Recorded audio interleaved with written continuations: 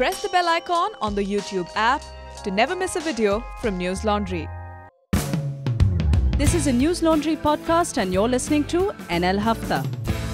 अंग्रेज अपना लगान और न्यूज लॉन्ड्री अपना हफ्ता कभी नहीं छोड़ते welcome to another episode of हफ्ता today other than Raman and me who are in office everybody is joining us from zoom from different parts Yes.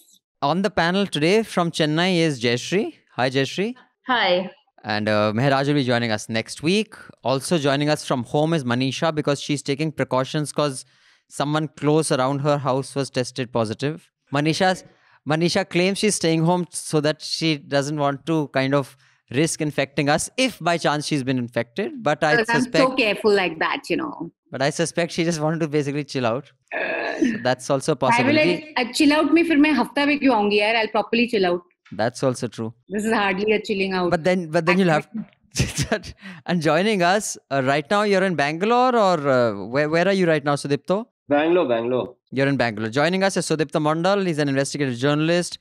He's reported on uh, basically he's been based out of Bangalore and he's just reported from much of South India on caste, communalism, corruption. He has written for the Hindu, the Hindustan Times, Al Jazeera, Live Mint, the Print, New York Times, the Federal, and you may have seen his report for News Laundry, which he did earlier this week.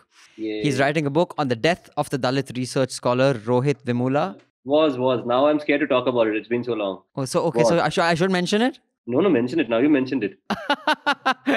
so he was he he's still he's he's struggling with the book he's aiming to finish Hmm. on the death of the Dalit research scholar Rohith Vemula and the 25 year history of the organization to which he belonged, the Ambedkar Students Association or the ASA. Welcome, Sudipto. Thank you. Thank you, man. So um, we'll just go over the headlines, but before we do that, can I please request you to contribute to our NL Sena project on the Bihar elections? Many of you have already contributed. Thank you for that, but we are still very far off from topping it up, which is over 5 lakhs. Basant is going to be based out of Bihar for the entire month. He has with him there someone to help him on production and shooting. You've already seen, I think, a couple of videos have already gone up that Basant has sent us from there. He's traveling Bihar, he's sending us stories. And as you know, this costs money and takes resources. And you have always been so generous, dear listeners and subscribers. Spread the word so we can do a good job of reporting from Bihar in the run up to the election. Because as you know, in the run up to the election, there'll be all sorts of ads that will magically appear in news channels and on newspapers. Like you've seen, they've been cluttered with UP ads. Now you see they'll be cluttered with Bihar ads. So we are ad free and we depend on you. So do contribute to that project and also spread the word and pay to keep news free. On that note, let's get the headlines, uh, Manisha. Yeah. BJP has expelled nine party workers for six years for joining LJP ahead of Bihar polls. Nitish Kumar has announced JDU's seven point plan for Bihar elections. Shiv Sena is going to contest around 50 seats in Bihar. And three J&K teachers uh, were arrested under PSA. And police has claimed that the students and alumni engaged in militant activities. One news that created a lot of headline was top Bollywood producers are moving the High Court against two news channels, which is Republic TV and Times Now. They've also named anchors um, Arnab Goswami, Pradeep Bhandari, who's with Republic Bharat, uh, Rahul Shivshankar, and Navika Kumar. And they basically want to seek perpetual or permanent injunction against them for making or publishing irresponsible, derogatory, defamatory remarks against the Indian film industry. Hindi film industry, I should say. Meanwhile, the Bombay High Court has asked Centre why not have a statutory body to control television media. Uh, in a very interesting exchange of letters, uh, the Maharashtra government, uh, the Maharashtra governor wrote to the Maharashtra CM and said, "Oh, you have you become secular now because he's not uh, opening religious places in the states." Maharashtra CM responded that I don't need certificate of Hindutva from you, so we can discuss that. Andhra Pradesh CM writes to CG, CJI alleges SC Judge NV Ramana influencing High Court. Yeah, there's someone. There's someone basically accusing uh, this uh, Jagan of of. I, I- think it's become a little more complicated. Maybe we can get a little bit of detail on this. That there's a judge also in the High Court who's accusing him of pressure, or is it the other way around? Does anyone want to weigh in? No, no. Jagan has written to the Supreme, Hmm. Supreme Court. Court saying that the High Court judges. Ju- no, no. The Supreme Court judge is regulating the uh, Allahabad, uh, sorry, Andhra Pradesh High Court. Okay. So that's what he's saying. Hmm. So he is asking the Chief Justice of India to restrain him, you know, so that he does not. But then, and uh, and and the Supreme Court Bar Association, they have really condemned it. Okay. So this is the latest. I see. Ah. Okay. Sorry. Carry on, Manisha.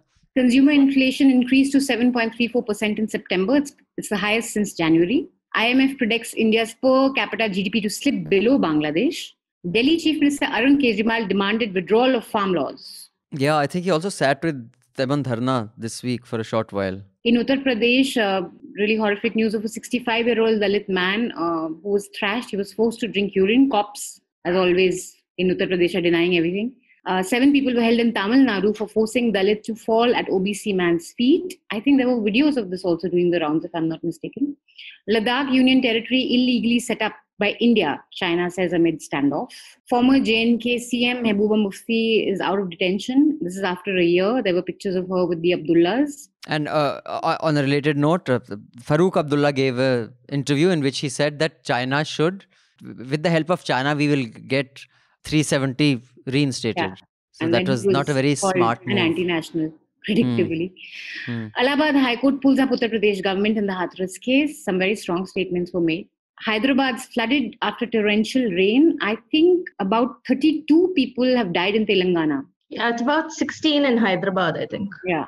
I'm reading from, from Times of India. Yeah, it's 32 That's people right. in Telangana. Yeah, and half of them are in Hyderabad alone. In fact, apparently Hyderabad received as much rain in a day as it usually receives in a month at this time of the year.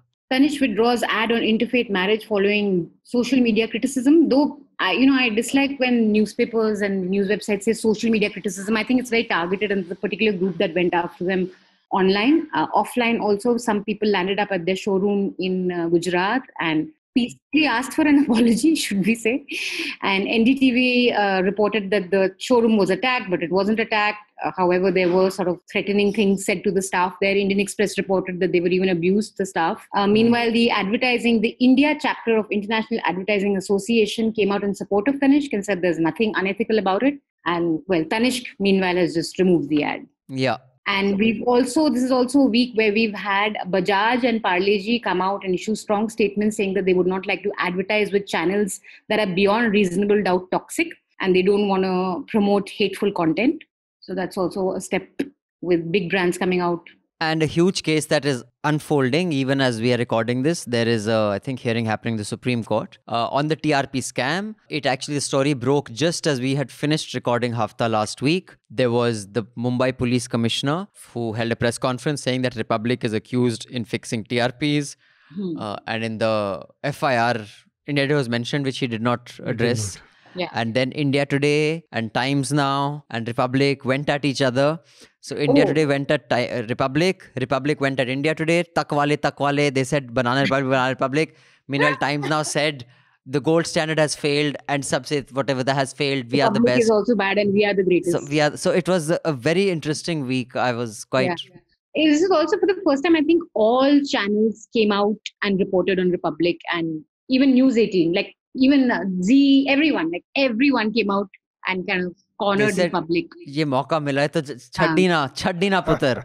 Yeah. But uh, let's start with the horrific news of uh, what's happening in uh, uh, Hyderabad and that that video that many of you may have seen of this man just being swept away by this torrential like the road has become a river and their cars floating. So uh, two panelists from one is in Bangalore, one is in Chennai may have more information than us.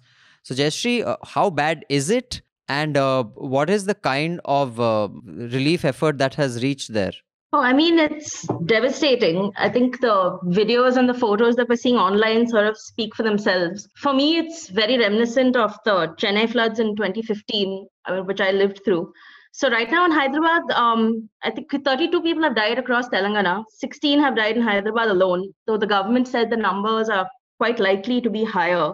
And I mean, the problem with Hyderabad is, as with most major cities, it's a question of poor urban planning, right? Like in Chennai, the most of, most of Chennai is a floodplain, which they've just built over and built over for years. Similarly, in Hyderabad, colonies were constructed in low-lying areas. The Greater Hyderabad Municipal Corporation consists of about 190 lakes, and all of them have encroachments built around them. So, with this continuous rain, all the lakes were breached. They flooded adjoining residential colonies, they flooded office spaces, they flooded all the low lying areas surrounding it. So, and the thing is that this is a problem that has been coming up for years. Like, there are dates, I think 2000, there was a terrible flood in Hyderabad. In 2016, there was a terrible flood in Hyderabad. but these are not sexy issues that people take up. I mean, you have activists and you have government, some sections of the government who keep on saying that we need to do something about it, we need to address it, but they don't because it's a question of we want to make this the greatest city in the world we want to become like the next silicon valley so development continues but at the cost of human lives every other year So And I yeah. didn't know uh, Chennai is uh, almost entirely a floodplain. I had no idea. Okay. yeah yeah like So- i mean very popular areas like pondi bazaar in chennai which is one of the busiest sort of markets bazaars that was a lake at some point it which they just sort of drained built over so vast sections of it have just become land. I mean it was never actually it was never actually residential land but this is just sort of the state of most cities i feel. And like you change the natural course of water you build over it. You use wetlands to build houses. And then you express shock and grief that when rains come to the extent that they've come now that these houses are destroyed. So um, speaking of lakes, there's that famous frothing lake that makes news every every quarter. I think yeah once every quarter from Sudipto's city, we see images of a frothing lake. This quarter is is it making its target, Sudipto? Uh, I haven't checked recently, but yeah, this is a problem in Bangalore. I mean, uh, you know, actually, if you look at these issues, I mean, definitely there's this, uh, like Jeshi was talking about natural waterways and those, you know, like in Bangalore, it's a it's a network of lakes. Each of most of these lakes are connected underground and you know through aquifers. So one lake leads to another, to, another, to another, to another. So that leads to an entire network of lakes getting polluted. So that is the case in this this part of the city. But well, while we're talking ecology, let's also talk real estate. No, I mean how how real estate has kind of uh, real, the connection between real estate and politics. You know, Hmm. land and politics, and it comes down to land and politics. And the communities that hold land, the communities that sell land, that become rich overnight, become part of big politics in a matter of a few years just by selling large parcels of land. One person can become an MLA. You know, I mean that these are the kind of stories that we have grown up listening to in a place like Bangalore and Hyderabad, the two silicon cities. I would Right. imagine Chennai still has old wealth. Chennai still is it's still an old rich place which with old uh, established neighborhoods, and it's a large city. It's a, it's one of the big four. But Hyderabad and Bangalore, if you go back, I mean that's what happened the sudden transformation of rural agricultural land into into into real estate. A bit And, like uh, Gurgaon. yeah, yeah, exactly. That kind of thing. Yeah. Yeah, and it, it it also coincides with the emergence of the. So now you're talking about Bihar, and you know all these elections are happening and all that. You know, it goes back to what kind of became the fuel for the emergence of this backward caste politics. If you look at it, it is also the growth of real estate, and that's what was the back on which these politics were built. Whether it is Deve Gowda, whether it is uh, the you know the Gowdas and the Reddys of Hyderabad, Bangalore, you know land politics the emergence of real estate and then now ecology so yeah all of those are the But this Hyderabad um, flooding, those uh, images. I mean, I've been to Hyderabad several times, and of course, there's that huge, you know, lake right in the middle, right? I, I don't know what it's yeah, called, but Hussain the one, Sagar, yeah hussain sagar yeah. So, is it that area that's been flooded, or No, like what parts of Hyderabad have been flooded? Like w- when we say that, because I read in one of the tickers that some some uh, dam got breached. So, is it a, because of the breach of a dam which a wall came down, or is it just rain? No, they, No. according to the reports, Hmm. there are 268 locations which received more than between 20 to 30 centimeter of rain, Okay. which is huge. 268 locations in Hyderabad and beyond. Surrounding Hyderabad. areas. Yes. Okay. So, so it's not just the Hussain Sagar. I mean, and it was a must be a da- dam outside So- uh, that we are not aware of. So, uh, Jayashree, you have is, is it a breach or is it just the rain? And and what part of Hyderabad? Because I can't imagine that. You know, what are these parts that are flooded the way we saw? it's pretty much all of Hyderabad. But I mean, if you visited Hyderabad, the most popular sort of tourist areas would be Hussain Sagar, Begumpet, Central Hyderabad, Banjara Hills, you know, stuff, parts of Secunderabad. All that is pretty much underwater right now. I mean, you're talking about Chutney's restaurant, which is one of the oldest, most popular restaurants in Begumpet. That has been almost submerged, I think, almost up to its roof. And uh, they did open, I think, for the first time in 10 years, they had to open 13 gates of the Himayat Sagar reservoir just because they didn't know what to do with the water that was accumulating. So I think it was a function of too much rain and too little planning as to what to do when you have that much rain. Like you have no system to deal with it. I guess the city is also not. It it is not a place that gets a lot of rain anyway, right? And maybe no, it does. It, gets a lot of rain in October. I've stayed in Hyderabad, Yeah, yeah. so it does. uh, get rains. So that's which is what I meant by this is such a perennial problem. Like every couple of years it'll rain this much. But we only read about it now because we're like, oh my god, like shocking videos and stuff. But this is sort of old hat. I mean, it happens constantly. It's just that we don't fix it. Like Chennai right now, if it, it is very possible that Chennai would flood again in the same horrifying way that it did five years ago. I mean, they've done some big stormwater work. They've got some master plan that they're discussing, but I don't think any of that actually translates to solving a problem. But what happened five years ago had never happened before, right? Because I mean, Yeah, that was terribly unprecedented. It was Yeah. like 10 times, 20 times worse than anything we've ever seen. So, And over the years, I think it's a problem of municipality. And as Jayashree says, it's not a sexy issue, so nobody covers it. I remember when we uh, this Chennai happened, I was with DNA, and we did a series of stories. I sent a reporter to Chennai, and as uh, is pointing out, I mean, it was basically the area which has been reclaimed belonged to the rivers. It was a network of rivers, and we identified, you know, the multinational companies, the offices that have come up on those areas. So, so uh, I think it's a it's a huge issue of municipality reclaiming the land, land, you know, illegally, which needs to be, you know, looked into. Just breaking the Hafta flow to give you this important announcement. We have a new site testing. We've got some fantastic feedback from for the UI and UX aspect from all the website users who we sent the link to. And if you're a developer or have worked on the website and user interface, send us an email to subscription at newslaundry.com. We'll send you the testing link because we want some more people to test it.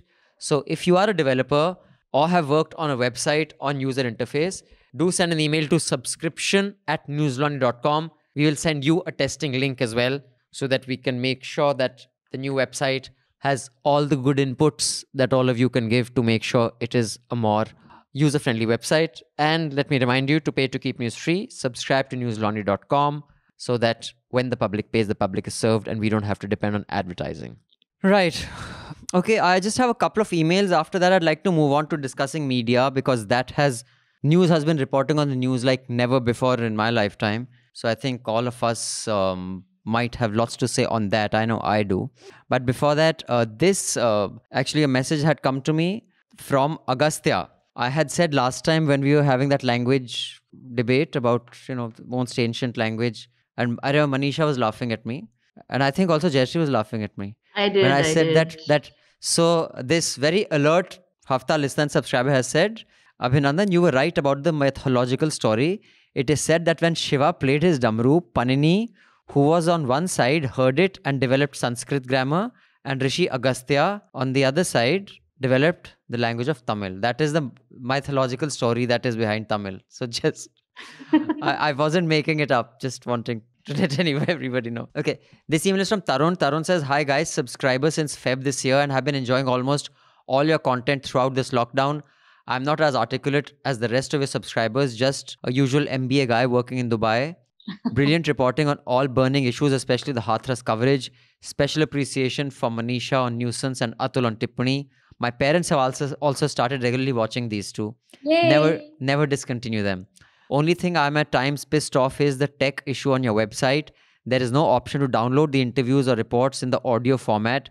I can understand that it's being behind a paywall. You can't directly give a YouTube link, but there should definitely be a way. One thing is amusing. You have a download option for Hafta, but no other podcast on to you. Please fix this. So, Tarun, as you have heard me say regularly on the Hafta for the last few weeks, that we have a new website coming up. I don't know if you're one of the subscribers who was sent the test link. About a hundred of our subscribers sent a test link for a new website. Uh, many of you have given feedback. We are fixing some of the glitches. The podcast player had many glitches. So many of these inputs that have come, you will see in the new website it'll develop. I had actually thought the new website will go up today when I record this, which is Thursday afternoon, and it is the 15th of October. But uh, we are still fixing some of the glitches and some feedback many of you have sent. So it may take another maybe three, four days to put the new website out, but we'll keep developing and fixing it even after it's up. So Tarun, this recommendation of yours has come in from many people and this will be addressed. Uh, and this email is from Swaroop. Dear Abhinandan, discipline and fear are primarily a military concept. The same cannot be applied to children. The moral decline of the current generation can be traced to fear in children while growing up. Children listen to parents out of fear or reward. However, over time, the child keeps pushing the boundaries and figures out that even if they cross the line, nothing will happen. Even if they get a whack, they figure out they can take the whack. We unconsciously condition them, implying fear will get things done in life. Learning should be used to distinguish between right or wrong, not fear. You might not have been messed up while growing up, does not mean every child reacts the same way to fear. Of course, Swaroop is being very kind in assuming I'm not messed up, but thank you, Swaroop. Every child is different, yet the same. They are children. You gave the example of the coach. What was he supposed to do? Yell at a child? He is supposed to teach the skills and train the kid in football. Fear is the easiest way for a teacher to enforce discipline. He might not have the required skill to do so without using fear. Put yourself in the coach's shoes. He might not have a decent income for the last six months and will not push back on your kid's behavior. All parents or kids do not react the same way of a trainer trying to enforce discipline. We wonder why society is violent and yet not see the obvious. Education and learning are two different concepts. Kids might be educated but not learn anything. This is why situa- we have the situation today. They might know what secularism is but would not have understood why we need to be secular. I have a six year old daughter. It is tough to bring up children without fear and yet teach them the right thing. But that is the challenge to teach a kid without using fear. It is easy for the privileged to talk about bringing up kids in an alternate way, but if the privileged cannot do it, who else will? I would suggest you read about J. Krishnamurti's thoughts on education. Krishnamurti's schools in India and the world follow a path of teaching kids without fear. Children might not score 99.99 in JEE, but will grow up to be decent human beings with enough skills to earn a good living. Below is a video about J. Krishnamurti's thoughts on education. Manisha will definitely like this. So before I move on and discuss the media, I would like to get um, Sudipto's view on this. Sudipto, we discussed last week on um, education. There was lots of, you know, on the competitive exam and stuff. Was it last week? Last to last week, no? When Chetan was on, I think. Yeah, last to last week. Sorry. So, first of all, you want to react to Swaroop's email. What is your view on education and teaching children and fear and corporal punishment and the likes? Uh huh. I mean, uh, no, nobody no i mean it's, it's a morally settled issue na? Marna pitna bachon ko nahi nahi my goodness. Because i i mean i speak also from the experience of uh, well I, I am very proud to say this okay of, of being part of a football team where i was helping out with the coaching okay? And uh, haha, pe, uh, we had to work against our instincts to use uh, the threat to violence. And so therefore uh, the the coach had set up a very good model so the you know in a very democratic kind of way they would uh, the punishments there would be punishments of course, but it would be exercises and all of that which the team themselves would de- decide all that. But uh, that takes a lot of time. I don't know. Uh, but nay, nay, of course, it's a settled thing. No? But that is still fear, right? I mean, my thing was that of not even raising your voice, there's I mean, I I do think that it is in a context. I'll give an example of you know we had this um, person from Germany who had come and took he took over as the headmaster of my old school, and he didn't because he was from there. You know, like there's the Krishnamurti model here. There is the what's it called the the. Um, Can I okay? So the, one of the experiences with with the children over there for uh, for us was that you have okay there was uh, girls and boys playing football and young boys even as young as 9 10 11 and all that they all are competing to be alpha okay? There is among them there is threat to violence. And then you know sometimes the you know you you have to pull them apart with not a threat to violence but quite roughly okay? And these are issues that come up from time to time okay? Young boys i've discovered and i must say i should have dis- i mean i should have known but now it's like a realization which is that man it starts very very young nine, eight, seven year old boys trying to be all like, yeah, you know, and trying to dominate uh, girls who are like 12, 13, 14, saying that, ah, okay, I'll come, I'll pick her up, you know, because the practice used to be at five o'clock in the morning. Hmm. So it would be dark and all that. And so these guys would be like, ha ha, okay, I'll take responsibility. I'm like, man, you can't even put on your studies. you know? no, I, I, get that you you know violence is a different thing. No. but but fear, I, I do think no, I'm not saying fear how do you it's very confusing for i'm just saying that guys who are violent at that age is very difficult to it is important to tell them that there is a stronger force over here. So you are strong maybe yes stronger than the girl who's your age even let's say because you are getting more eggs than she is. Right.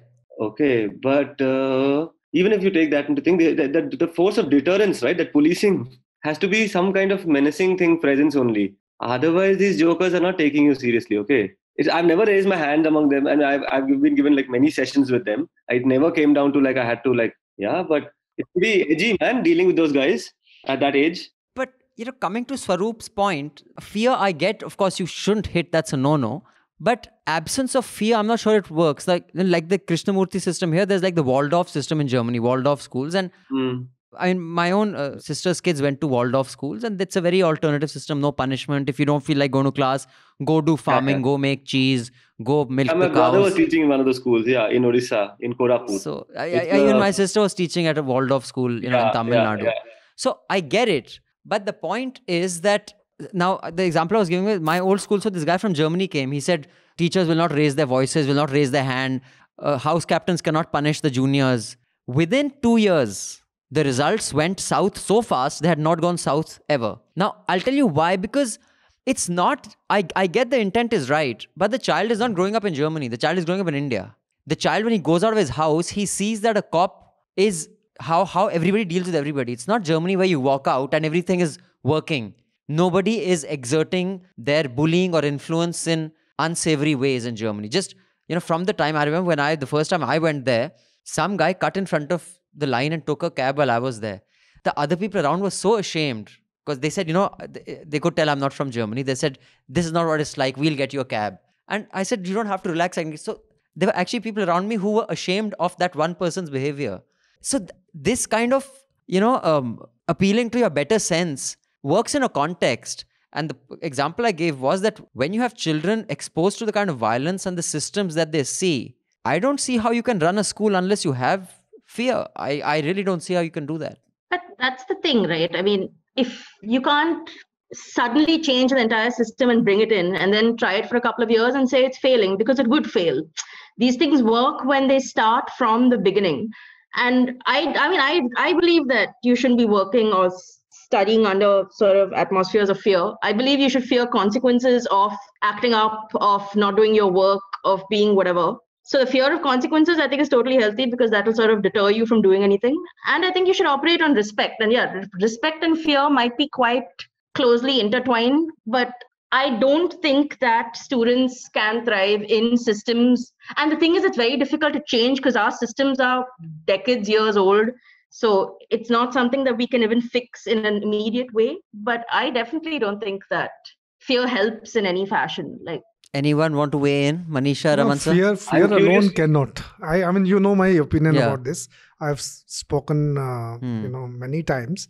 Fear alone cannot help, uh, you know, bringing up, uh, you know, children in a very healthy fashion. Hmm, So I think it's a, it's a, it could be a mix, but then who is going to decide that mix? sure. So that's that's another major problem. So I I personally feel that uh, fear we should try our best not to you know strike Use fear. that as an incentive or a Ah, disincentive. fear, yes. Right. But I should point out that I mean to add on to what Sarita said about the football thing. I don't ha- personally have kids, and I've never worked with kids. So as to how to solve this problem of of boys from the beginning assuming these sort of masculine, hyper masculine identities, I don't know how to solve it. But I don't think that fear really would solve it. Yeah. Anyone want to weigh in before we move on to the TRP case? I don't know. There are some ancient monastic orders and all of that, which are quite interesting. I don't know. Are there, has anybody studied anything in Buddhism or something? The, the monks, the orders. I don't know. Anyone? well, I, I have shot. I have shot at various monasteries around the country and even in Sri Lanka. There also fear is used because the young monks, uh, we caught them outside. We were shooting a food show and we had a meal inside the monastery and we came outside and there were these two young monks sitting at the dhaba outside we said hello. They said, "Oh, don't tell inside you were eating. We'll be punished." I was like, "Okay." So but they come out more sorted than we did. No, so I suppose there's a mixed balance there. I don't know. I don't know. Yeah, I don't know if they No. come more sorted than us. But yeah, I mean, I am. Uh, my essential problem with schools is the the stress on fear. You know how you're Hmm. just made to fear every little thing, and I think that needs to. Right. Yeah, that is true. No, no, I hated life when I was in school and college. Just let's. That's Yay, like. we can be friends. I hated school too. Yeah, ACJ was the first time I felt like okay, I was learning something. Yeah, you know, same. open school, open book exams, people just discussing. You know, there's no like stick wielding, nothing. You lose out on marks at most. hmm. I I also hated my school, but uh, but I loved my college days. I uh, suddenly I got a lot of freedom. Right. I loved both. So, okay. So now, um, you know, this is a very important uh, issue that we're going to be discussing, and I'm glad we have the panel that we do. I'll just give a context, and then maybe we can start off with Manisha, and then uh, you know the rest of the panel can weigh in. Uh, right now, as we're recording this, the News Broadcasters Association, the NBA, uh, has welcomed the decision of BARC. BARC has decided that they will suspend the measurement of TRP points for the next 12 weeks. Now, this is a oh, three months. No? huge announcement. A, I'm wondering how will ad sales team sell ads space? And how does that change news also? You know, I'm wondering if in the next three months we'll see, I don't know, news move to something better, calmer, nicer. Okay, so that is going to be an interesting thing to see. But the context is that last week on Thursday, as you were recording Hafta, the police commissioner of Mumbai held a press conference and said Republic is fixing TRPs by bribing some people to watch their channels. This opened up Pandora's box of how flawed BARC is. We did a few reports on this. Probably by the time Hafta goes up, we'll have another report up on this. And the police, the Mumbai police, perhaps justifiably were accused of being partisan and using this to attack Republic unfairly. Uh, and I don't think that is an unreasonable uh, kind of assumption. But the whole TRP thing was scrutinized. And clearly, there are many flaws with it. On the back of that, Parle and Bajaj announced last week. In fact, Bajaj said they have stopped advertising on toxic channels for a long time. Parle said they will also stop. In the meantime, Tanishq put up an ad which showed, you know, a Hindu woman married to a Muslim guy, and in their family they are having a, a Godh Bharai kind of ceremony for her. And It was a Hindu ceremony. it was a Hindu ceremony, and it is see how beautiful India is that we wear gold jewelry and we do these lovely things. And of course, the Hindu right said, How dare they? They are promoting love jihad. Tanishq withdrew the ad. There was that, what Manisha spoke about in Gujarat.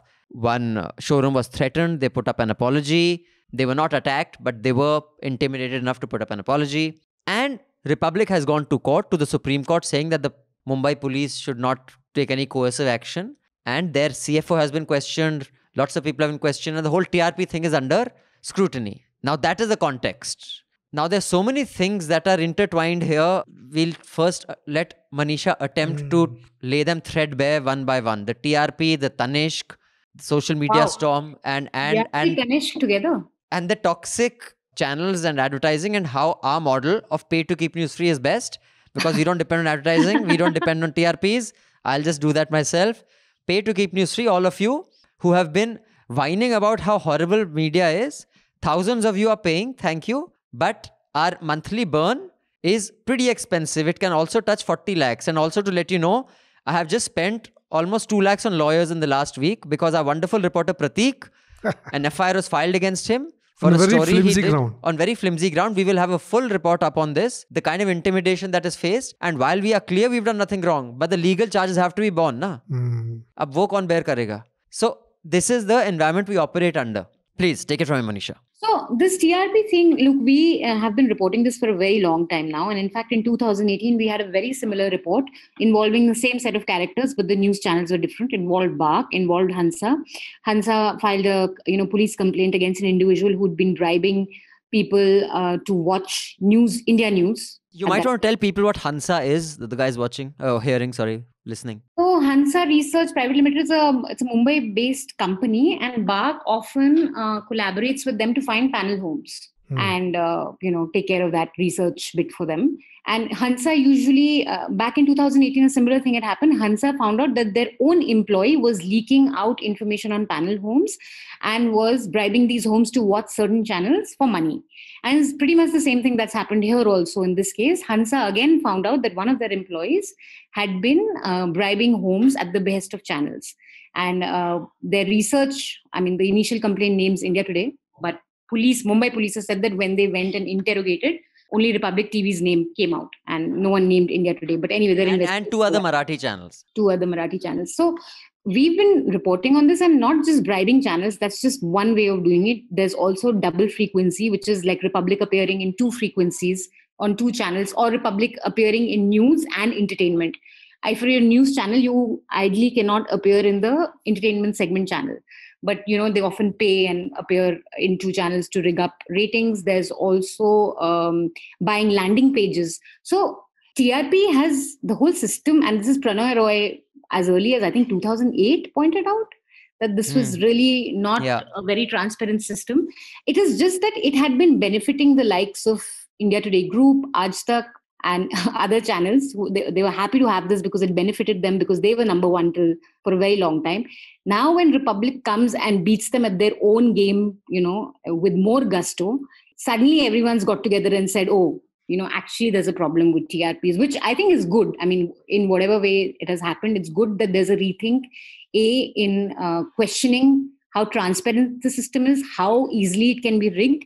And also, I think uh, questioning whether these ratings are good enough for advertisers to even decide you know where they put their money on which channel they put their money on because it's such a small apart from the sample size just the just how easy it is to tamper with. How can so much money be riding on a system which is so easily tamperable if that's a word?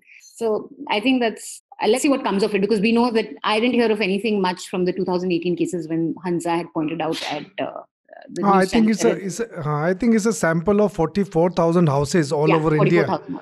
Uh, 44,000 houses and which have been wired and these people are trying to find out who is watching what, you know. Um, and, and there are 8 crores, I think 8 crore people who are watching uh, this, who watches news and all.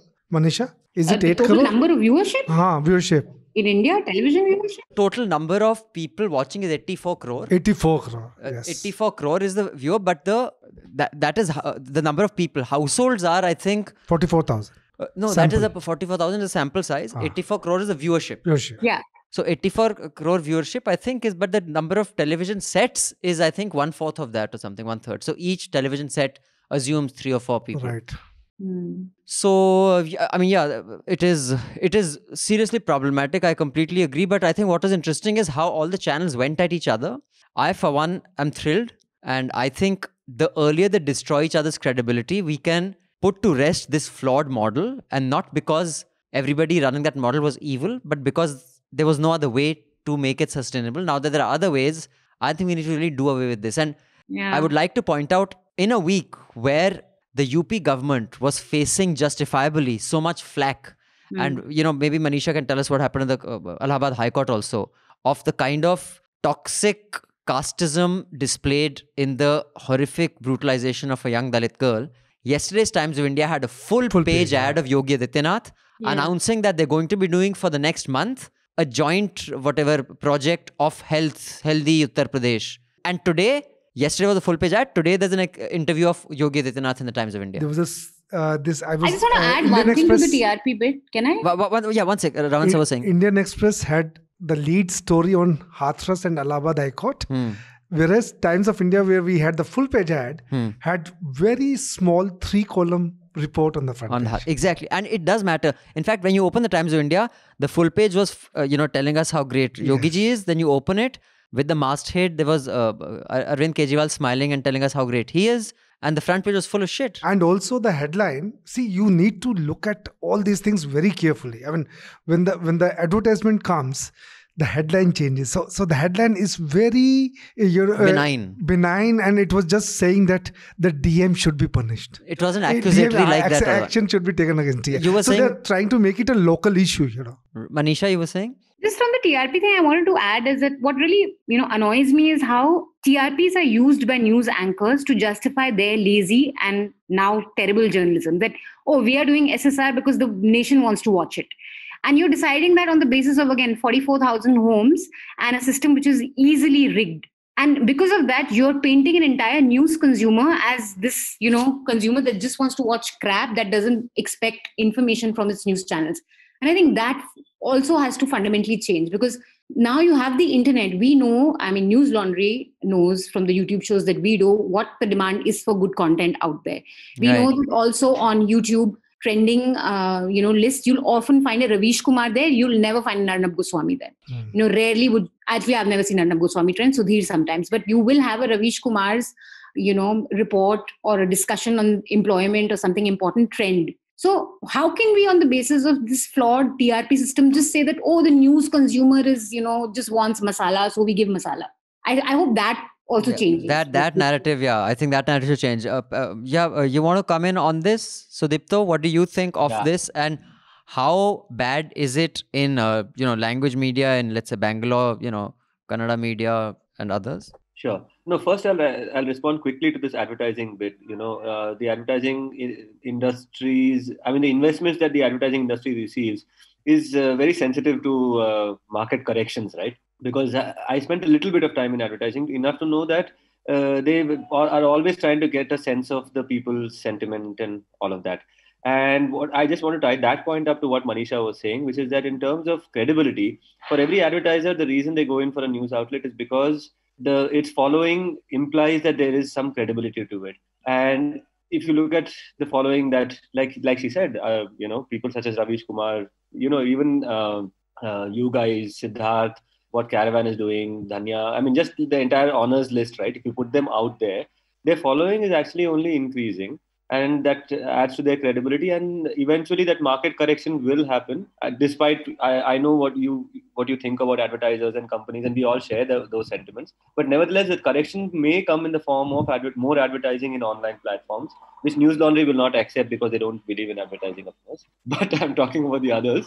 Yeah. So there's that thing. About the regional media uh, well i don't think the money is coming from advertisers as much as it is coming from hafta vasuli. Okay, the co- I mean, this is something I'm sure all of us already know. But uh, just to confirm that one fact, which is that reporters of various channels have been asked to go and get money, this much money per month, all of that. Channels are playing absolutely anything, passing off absolutely anything as news. Uh, these are Kannada channels I'm talking about. If you do a survey of regional channels anywhere in the south or in the north or the east or the west, I mean, my friends, uh, you know, from from Assam were, were talking about how वहाँ पे तो अभी reporter कोई पहुंच जाता है तो लोग मतलब या तो they reach for their wallet or their gun. okay. That's not like there are many, but there's a lot of. You know, I'm not saying that. Yeah, I'm not saying that they're violent people. But regional media is tools to the state governments also. I mean, yeah, they're exactly. mostly they, playing. They also depend. Uh, so um, hugely. Yeah, state government patronage. Oh, of course, yes, sir. Important point, sir. Yeah, absolutely. Yeah. That's major state government patronage. But last quick point, which is that in Karnataka, you know, there's been this trend of each politician or a group of politicians who might even cut across party lines, promoting a channel so as their mouthpiece in some way. So that is the thing. I mean, all these channels. I don't want to take names. Some of those names hopefully will come as a as part of a result of of, a, of some proper investigation someday of papers and documents. But the press club is full of talk of how I mean guys who are part of three different parties are behind a channel. All of that. So yeah, quick point. Yeah. And, uh, quickly, if you just want to pitch your story to our listeners, those of them who haven't read it, what it's about in five lines and why they oh, should yeah, read yeah. it. The Power TV story. Yeah, of course. Uh, no, firstly, um, um, thanks uh, News Laundry for spotting that story. Yeah, I just put it out as a tweet saying, "Hey, look what's happening," but you guys gave it the importance that it deserves. You know, Manisha got in touch quickly saying, "Hey, can you do this story?" And of course, I had the chance to work with the amazing uh, Mehraj Lone, who I think is coming in the next episode. Yes. Yeah what a good newsroom gatekeeper. I, you know, shout out to him. He caught out like some really. I'll tell you about the embarrassing errors later, but yeah, hmm. that story finally got some. We don't have to since they didn't make it to the copy. We so so what? But what was the story? tha pachda tha kya? What was the pachda? Pachda was basically that uh, you know there are no heroes in the story. It is not. Yes, the channel got taken off air for the first time in India's history of private news channels. No, never has it happened that a bunch of coppers have just landed up and unplugged the channel, literally just taken it off air. But uh, yeah, on the other side, there was no hero because the channel itself was run by this guy who firstly carried the story in a very weird way. There's a huge gap in the story, which is that uh, on the 2nd of September, a promo goes out in on Power TV saying that uh, the royal family of, of Karnataka, we're going to expose their saga and all of that. And that's all. I mean, there's one audio clip in which uh, supposedly the son of the chief minister is talking uh, uh, discussing kickbacks. For 15 days, the story doesn't play. And guess what? On the 2nd of September, the same day, Bangalore cops suddenly discover there's ganja on the market. Okay. And they go start bursting into people's houses. Actors get picked up. Same on the 2nd of September. For 15 days, this drama goes on, in which time Power TV is quiet about the story. Yediyurappa is going to um, Delhi to discuss cabinet expansion. On that day, Phatak, the story comes back again on Power TV. So a lot of it is murky, of course.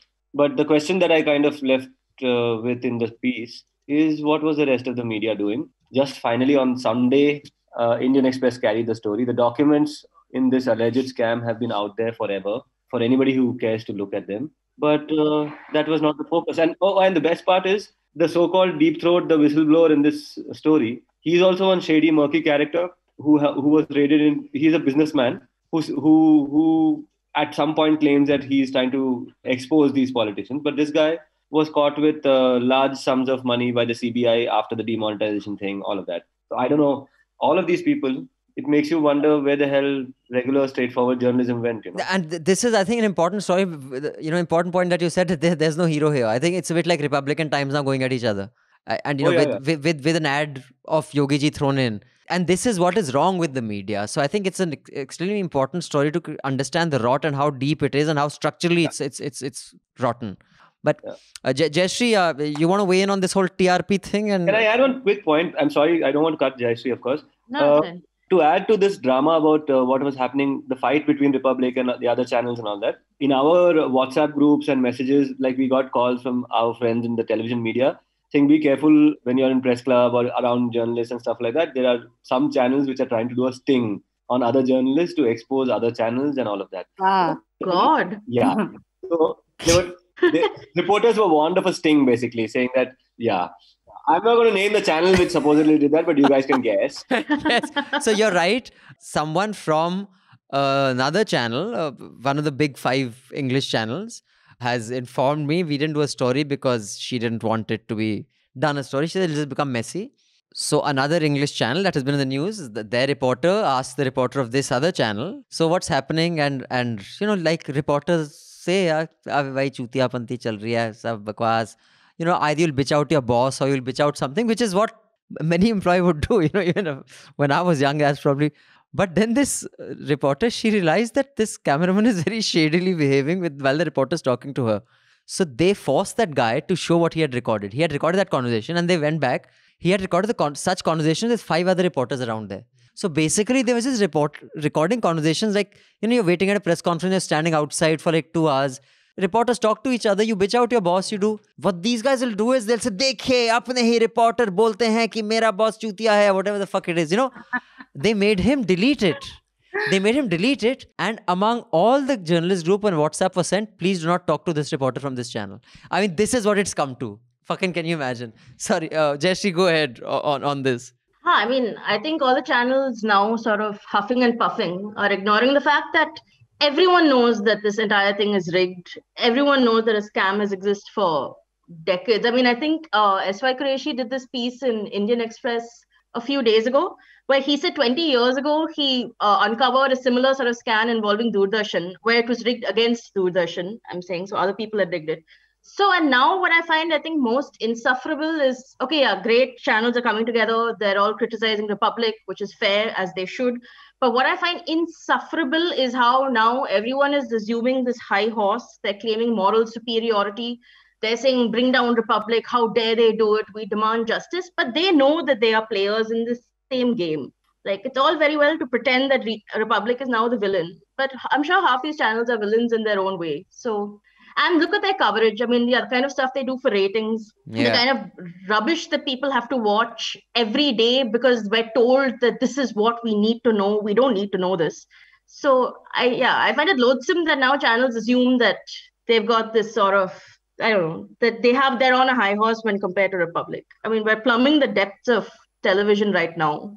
But speaking of high horse and these days तो delusion में कहीं भी रह सकते हो अब you know I'd like Raman sir to come in after that you know this a bunch of producers including um, Karan Johar Ajay Devgan's production company Akshay Kumar's production company Shah Rukh Khan's production company Salman Khan's production company about 40 of them have filed a case against Times Now and Republic and they have named the four reporters journalists if you want to call them that which I think is stretching the definition of Anchors. journalism You can just call them anchors.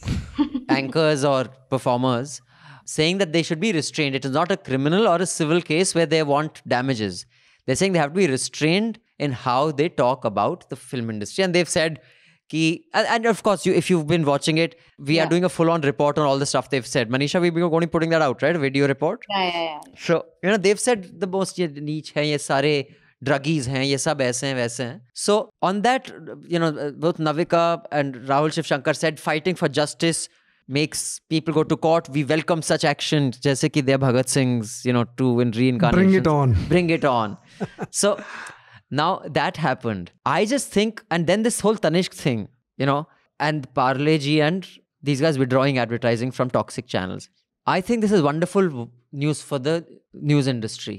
Cleanse it's a purge and um, the quicker it happens, the better it is. Yeah. And and while it does discredit news in the short run, I think in the long run, a, a more robust ecosystem will emerge. There's no doubt about it. I mean, this is deeply rotten. You were saying, Manisha, on this advertising of these guys who've withdrawn. Also, by the way, Parle-G withdrew. So on social media again, ab, who eats Parle-G? We will we will boycott Parle-G. Then someone else says, "Tell me an orphanage. I will donate ten thousand packets of Parle-G to that orphanage." You know, now we've come to the stage where even marketing, advertising is partisan. It's it's reached that level, and I, I'm I'm still on the fence whether that's a good thing or a bad thing. But I don't know. Let's see. I think a on the uh, Bollywood producers going to court against Times and Republic. I think it's an excellent move, and I think journalists should actually come out and support it and call out stuff like this. Because when Navika says this is an attack on free speech, every journalist who respects the profession and who's passionate about the profession and cares about the profession should counter it and say, no, this has got nothing to do with free speech or even doing journalism. It's got everything to do with tabloidization and slander. I mean, we know this slander is not part of journalism. You cannot run hashtags like arrest Rhea now. And you can't just uh, make say up your own Bollywood shit, yeah. dirt you, can't, you can't just make up shit on your. was a, there was a hashtag like that. Yeah. Yeah, yeah. What? Of course, these guys have crossed all lines, and I, I mean, honestly, All I hope line of Rhea has distance. lawyers. I oh my god. Okay. Okay. Thank you. Huh. So this is, I mean, uh, and it is ridiculous if Shekhar Gupta is being a bit, you know, whatever, iffy on it on the video. I haven't seen it, but every anyone who practices journalism as a profession, as a craft, should call this out. We we've not been taught to do this. We've not been taught to like slander people, and not and not one debate discussion of this did they ever even forget. You want to slander someone, fine, but you always at least you know have that formality of reaching out to the other side. Not one of the debates had that. Not one of the debates had maybe Shah Rukh Khan or Karan Johar and ask them, ki, Bhai, this is what we feel about you. Would you like to respond? So, I mean, it's not to me, it's it is only, and I think more and more people should do it. I think Richa, Richa Chadha going to court against that lady who just randomly took her name is great Hmm. because this has reached a point where, and see, Republic Times now have been doing it for a long time, except their victims have been too weak to hit back. They've called women at Shaheen Bagh, you know paid women biryani खाने आती हैं worst kind of things said about women and children who sat back कि 500 shift का लेती हैं। Exactly I mean how can you say that about someone यार कि 500 रुपए यू नो लेती हैं या खाने के लिए आती हैं ये वो। They have done it against Umar Khalid you know ran complete propaganda against them they did it with the Hathras victim where Arnab Goswami actually on Republic Bharat said कि ये सामूहिक बलात्कार की बात कहाँ से आई? ये तो मनोहर कहानी लिख दी किसी ने। यू नो समवन्स डाइड या? So it is Someone just has that in- and someone has given- see, uh, given a dying should Police statement. has given a Dying- dying declaration yeah I want to add one thing. Uh, You should see Nidhi and Akanksha's video report from Hathras, where this Republic Bharat woman is harassing the family in the house. Now they are too weak to hit back against these guys, Hmm. but they've been doing it for too long, and I, I'm happy that you know a powerful organization like Bollywood can take them on. So at least it's some you know some karma or some some sort of restraint. And if you noticed, Times and um Arnab have both stopped doing SSR debates huh, since then. yes they've completely never address it. But they've not even. But the Bollywood thing, they're not asking for restraint. They're asking for like a permanent injunction against defamatory remarks against Bollywood on these channels. Yeah. This is something that I think a court will never actually give you that kind of yeah absolutely i think what they're asking the, the kind of injunction they're asking for is impossible because it can't be you know carte blanche like forever indefinitely you know But on the pertaining to the SSR case, right? no even on It's not I don't know. If they, I don't know if they qualified it. I, I think this this case is more it's just a pushback because Yeah.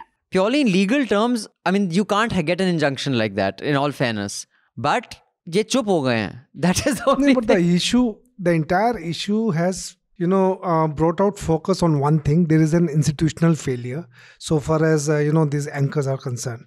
I mean, the, we have a self-regulatory body which doesn't work. These people come up with on their own theories, their own uh, fake news, and nobody is able to control them. Hmm. So this is the institutional failure. This is what it confirms. And second most important thing is that Bollywood as a collective body can take them on. So, Yes. so these these two things are, uh, I think these Yeah. two are the these are the two highlights. key takeaways. Key takeaways. But I think also what is you need pushback because I mean you see the Tanishq ad. The Tanishq ad is not offensive in any way. at all. But the Hindu right has said that this promotes love jihad. I mean, can you imagine? And there is no restraining them. They are emboldened enough, and Tanishq clearly feels that, dude, this is enough to screw us. So they apologize, they withdraw the ad, their stock price falls. if this is the world we live in, and if we let it carry on, secularism will be a bad word. Look at this Yeah. buffoon of a Yeah. governor, yeah. What a thing to say. In a situation like I mean, this, uh, you write a letter making it seem like secularism is some sort of a barb. I mean, if this is the world we live in, you have to push back. in a situation like this, the state government, the judiciary, the central government, and the police, they should come forward and they should tell Tanishq, no, you don't need to withdraw it. We'll take care of that. Yeah. So no, in such cases, no one comes forward. So a lot of things are happening. You know, institutional failures that I'm talking about. And those who Exactly. have the wherewithal should push back absolutely. yeah. Yes. And I, I mean, at least now I have stopped expecting a fair fight. I find it interesting that while I do think that the Bombay police is partisan in what they're doing with Arnab and it is very uh, unfair, I just think it ironic that a man who has never cared for fairness in any case he's reported on, he's never reported the circus he's run, suddenly is so concerned about the fairness of a probe. And he has never been concerned about the fairness of a probe. in fact, he has. wh- What did he call uh, Umar in his studio? That you're a terrorist, you should be in jail. Ah. You're more dangerous than Maoists. I mean, th- th- this is the man who now wants fairness. Like seriously.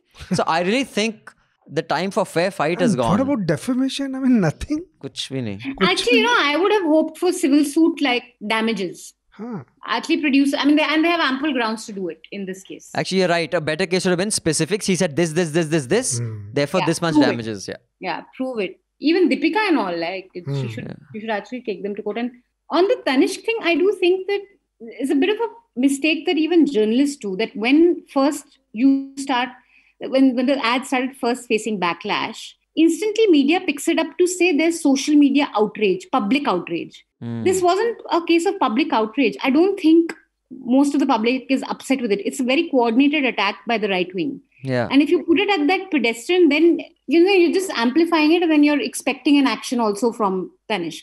I think we should also call out what it is. You know, this. I really don't think many people would have any problem with this. Manisha is so right about it because we need to report it like this that it was a coordinated, uh, you know, attack by the Hindu right. Is why I'm saying so. I have just come back, you know, from Uttarakhand, the the far flung areas.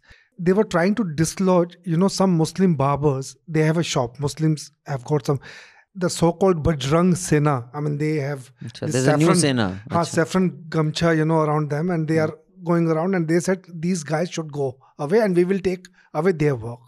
So the locals, the police said, "Ki, boss, I mean, you don't have a barber, so who is going to do that barber service?" Hmm. So they let them stay there, but now they have, you know, appointed their own people. They have given them training. They have opened four barber shop just to dislodge this Muslim barber. So, so, so much is happening on the ground, and we need to report it like that. The way uh, Hmm. Yeah, Manisha it can't be general Ah, it can't be general. It can't be public, pu- public outcry. You know, it's, there, it's there are organizations, Yes. there are specific journals. In fact, Yes. Abhijit Majumdar, who was editor of Mail today, who's the one of these nutter Hindu right journalists, had actually tweeted, interesting to see the what angle emerge? The honor killing angle emerge in the Hathras case. Wonder what the other journalists who were saying it's a caste issue are saying now. No such angle emerged. Hmm. There was Yeah. just one stupid bit of news which two predictable channel played up that there were over six months, there were five hours worth of hmm. calls total, hmm. which means the calls lasted between eight seconds and like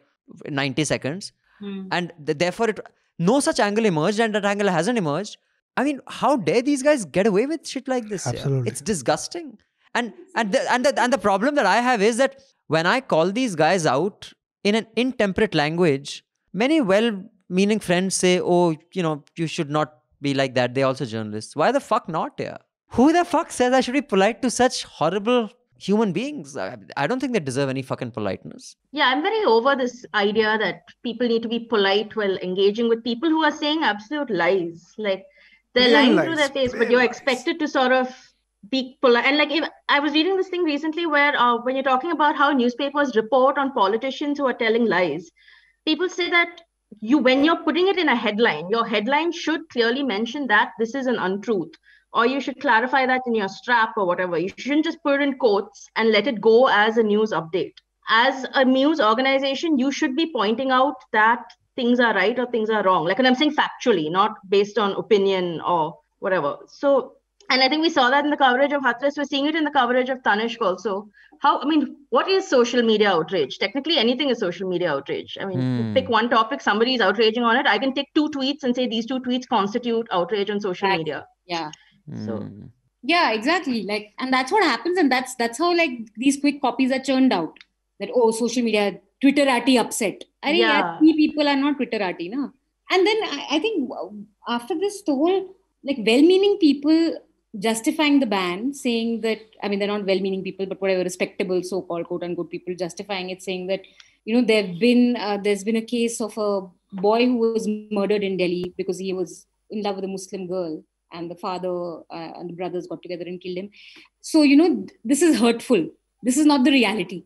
But if we are going to go by reality, then nothing can ever be made in India. Yeah, the reality of India is that young couples across castes and religion lose their lives often for falling in love. You know, Right. and not keeping religion and caste as a consideration. Hmm. Honor killings driven by caste are a reality. Does it mean that you can't ever show a happy marriage ever in any ad or any movie? Yeah, I mean, of course, that, that reasoning is completely ridiculous. Kind of, uh, No, the fact and- that and- such such was such things are also kind of echoed by people who you at one point considered, uh, you know, informed and and and uh, credible is is yeah. But before we move on, uh, Sudipto, you want to weigh in on this on the politeness in engaging with the kind of political views that have emerged? No, no, I think you said most of it, but yeah, I mean, I, I wouldn't uh, risk it. Just let's let's just say that you know because uh, you know the reason I won't risk it is because of uh, again things that are happening on the ground. I just wanted to kind of quickly give you an incident. You know, so I go out on walks in the morning, and I know pretty much everyone in the neighborhood, and that's always been my thing. Ki I mean, I need to know people uncle, auntie, bhaiya, whatever, all of those people I need to know. So now a couple of people have recognized me as that guy from Twitter, okay, or Facebook or something. And I, in one case, I really like shat, you know, because I got scared because I'm like, oh my goodness, ये क्या है? Hmm. Uh, घर के पास तो ये सब scene नहीं, you know, because Gauri has already happened, right? right. Okay. And uh, then he's like, that guy is like, no, no, no, boss, मैं भी secular. I'm like, oh, मैं भी secular. Yeah. like, दादा हम secular हैं. हमने कहा आप secular हो? अच्छा मैं भी secular हूँ. किसी को बताना नहीं है? हाँ बताना नहीं. ठीक है? हाँ मैं ठीक है. That's what happened in the end of that conversation. Saying किसी को बताना नहीं कि हम secular हैं. ठीक है? हाँ. तो ये That's, scene है. but isn't तो that sad? Isn't isn't that sad that one has to? This is what fear Yeah. does to you. Something similar happened to me uh, when I was taking. Uh, I was I was running in Siri Fort. This guy stops me. He says, uh, "You think you are too smart commenting on even?" And I was like, and he was this, you know, uncle who was not exactly in the fittest of shape. I said, "Okay, so what's your problem? You can't talk like this." I was, "Have you fucking stopped my run to tell me this?" And like, wh- what do you hope to achieve? That will you convince me? Like, how dumb? But you're right. I mean, he didn't seem like an intimidating uncle. I mean, rather, I've said, you have courage um, to have stopped me in my run. I mean, you're the one who should be scared here. But anyway, so I have a couple of emails after that. I'd just like to discuss what happened in Kashmir and this whole China thing and what Farooq Abdullah said. I want I wanted to just add to this Tanishq thing what Sudipto said that you know the backlash offline. Now in this case, this online only this brand manager of Tanishq was forced to delete his LinkedIn account. Yeah. Hmm. Mansoor Khan because he's Muslim and of course everyone attacked him saying that oh Mansoor Khan is actually the one you know giving out these ad whatever creatives. Yeah, and and apparently, it is it is it come it hits home. Yeah, it's it's really close to someone doxing you. You know, pointing you out on LinkedIn, sending you threats. Yeah, like all these ugly people on social media that you see, you know, with those egg profile photos, you don't know who they are. But they're spilling over onto real life now. I mean, they're coming to people's houses, they're walking up to you on the yeah, street. that's that's why I'm saying one can't concede space. One concede Yeah. space, then before you know it, you'll have a governor who has the audacity to write the letter he did. I mean, no matter how bad things. I mean, ten years ago, can you think of a governor who would actually? And it's not like a governor woke up, wrote the letter, and sent it. Someone typed it out. Some bureaucrat said, "Okay, this is a good idea." Someone drafted it. Someone did the final draft. Not one person said, "Sir, you might want to reconsider this letter because this is okay in today's day and age." And Raman said, "You it's the psychophancy that plays. The, I mean, someone he must not have written that. He or he might have given some dictation. Hmm. Even dictation doesn't happen. Someone Right. else writes in the hierarchy, then it goes to the governor, and the governor's okays it. So I think it's the psychophancy uh, at uh, display. And on the ceding space bit, now imagine a simple ad like Tanishq you know, ceding space uh, Mhm. over Twitter backlash or whatever, fairly urban India sort of backlash. Imagine the impact this sort of thing would have on a young couple somewhere in a small town of rural India that wants to marry, you know, being from different religions. Yes. All this is going to have a really terrible effect. I mean, these kind of things embolden these moral policing people at towns and villages to go after young couples. And love jihad is that. Love jihad is purely when the right wing's way of attacking a couple that's in a mixed a mixed marriage or a or a couple that's you know Hindu and Muslim. It's simply that. Sorry, you were no, saying. I said we just can't comprehend, you know, of uh, fears which are happening in the rural areas. I, I just gave you one example. I came from the rural area, and what is happening in these Muslims, they're just counting their days. uh, you were saying, uh, Jayashree? I, I was just saying that for interfaith couples, like Manisha was saying, imagine what they'd feel now. And I was saying the Special Marriage Act already has made it so difficult for these couples because they basically have to advertise their union up on the wall of some government office. And people are now doxing them on Twitter. People are taking screenshots of those who are going to get married under the act, trying to track them down, call them. So, I mean, this is something that is very scary. It's very scary. It's very sad. Okay, just um, before I move on to the emails, wanted to read you a few lines of Bhagat Singh Koshyari's letter, the governor of Maharashtra. And he used to be the chief minister of Uttarakhand na, at one point. Ah, he was he was president also of BJP in Uttarakhand for a long. He's, he's, a, he's an old man. He's, yeah, I mean, he's, I mean, pretty old. Manisha's state. Damn. वो UP से होगा नहीं उत्तराखंड का है। उत्तरा- उत्तराखंड का उत्तराखंड का था। I met he's from Almora most probably. Oh God! right, we're too close He to does home. look. He does look very pahadi though. He wears that pahadi Ah, cap also. Yeah. So, a few lines from his letter. Dear Shri Uddhav ji, on the 1st of June, you had announced in your televised address that the state is embarking on mission Begin Again, Punashch Hari Om, from the first week of June. You had also famously declared on that day that the word lockdown is being consigned to dustbin from that very day. Then da da da da da da da da. It is ironical that while on one hand the state government has permitted the opening of bars, restaurants, and beaches, on the other hand our gods and goddesses have been condemned to stay in the lockdown. During the last three months, several delegations met me on this issue demanding the reopening of places of worship. These include delegations of religious leaders, individuals, NGOs, and political leaders. You have been a strong votary of Hindutva. You had publicly espoused your devotion to Lord Ram by visiting Ayodhya after taking charge as chief minister. You had visited the Vitthal Rukmani Mandir in Pandharpur and perform the puja on Ashadi Ekadashi. I wonder if you are receiving any divine premonition to keep postponing the reopening of these places of worship time and again, or have you suddenly turned secular yourselves, the term you hated? This is a governor. This is the caliber of people who are appointed governors. So, yeah, And he's playing politics. He's just trying to say that who is the bigger Hindu Ah. in, in Maharashtra, BJP or Shiv Sena? I, I loved I loved one response on Twitter to this guy. He said, he says, when he said, Naki, you have opened bars and restaurants but not temples. Someone on Twitter said, I think Rofl Gandhi. He says, Sir, you can make temples at home, you can't make daru at home. That's a good one. घर में आप मंदिर बना सकते हैं घर में दारू बनाना अलाउड नहीं है That's a good one. So, um, okay, I have a couple of mails. This one is from Shankar. I promise I'll stop writing every week. Just wanted to ask you again about potentially covering clinical COVID 19 content if it's feasible. Uh, for one, yeah, the thing about uh, clinical content is we have one regular writer. Uh, he's based in UK, JNR. In fact, his column just went yesterday. He is a public health professional and a practicing doctor. On anything else that is, you know, which is why the science desk didn't quite work out because our editors and our desk can, you know, look at structure, it can look at fact checking, but things that are very technical or scientific, uh, you know, you need someone who understands that content to really, it has to go through that filter. That is the reason it's not really working out yet. Because even the CNN, the science correspondent is a practicing medical doctor, you know, he's a trained doctor. Because then you can tell Yeah. what you are, you know, claiming. Then Shankar says, Thank you for spending a lot of time on the then and now in the education system. I appreciate it. I have been bringing Newsance, binging Newsance over the last few days. Manisha is fantastic, which brings me to contributions. In addition to my regular account, I would like to open supporting two additional subscribers. If you have received any requests from students or people who are currently out of employment and want to continue to support you, but are finding it difficult, please let me know. I will be happy to sponsor their subscription.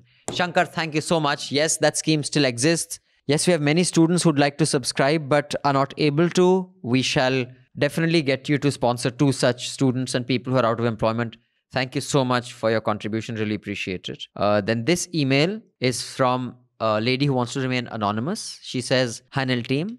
I've been following Newslaundry for a few years. Thanks for all the wondering work you do.